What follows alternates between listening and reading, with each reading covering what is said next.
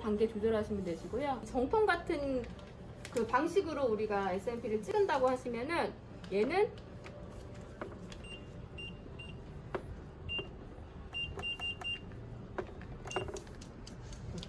뭐 스피드는 내가 조절할 수 있어요.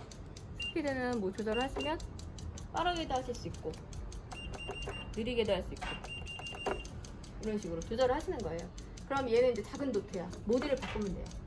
그러면 한 번 때릴 때 속도 들어가는 양과 두번 때릴 때 속도가 들어가서 기다리는 시간과 조금씩 틀려져요. 정통으로 보통은 이렇게 따다다다다다다닥 찍으면 옷 정통으로 우리 찍는 이렇게 딱딱딱딱딱 작은 도트의 느낌이고요.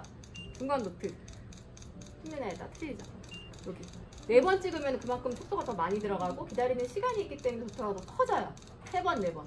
커지고요. 표피가 뚫려야 되잖아요, 일단. 심층 표피, 진피 상부층에 들어가야 되니까 파워 사람마다 다 틀려요. 그렇기 때문에 요거는 테스트를 꼭 해보시고요. SMP 테스트 안 해보시면 안 돼. 뒤쪽으로 먼저 테스트를 다 해보시고 도트 결정하시는 거예요. 뒤에 파워 이렇게 조정이 되게 돼 있어요. 이런 건 많이 해보셔야 돼요.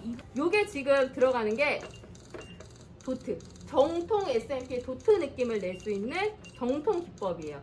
큰 도트, 작은 도트, 쨍한 도트 다 표현할 수 있어요. 지금 많이 알려지신 continuous 모드. 나나나나 미세 도트. 요거 헤어라인 위주. 기본적으로 파워가 조절이 되기 때문에 파워로 조절을 하시면 됩니다. 오토 같은 경우에는 needle을 조절할 수 있는 게 기능이 있어요. 헤어라인은 1mm 정도에 맞추시는 게 제일 좋아요. 그래서 이 정도에 맞추시고요. 그 정도 맞추신 다음에 얘는 이제 주입하는 방식이에요.